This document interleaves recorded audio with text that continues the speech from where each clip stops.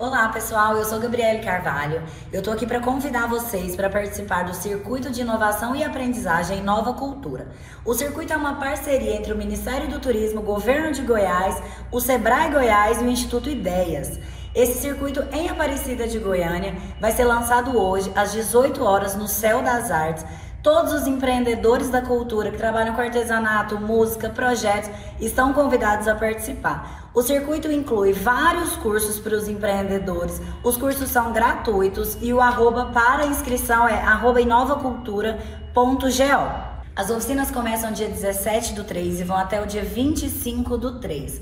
Em Goiânia, as oficinas serão no Sebrae Goiás e em Aparecida de Goiânia, no Céu das Artes.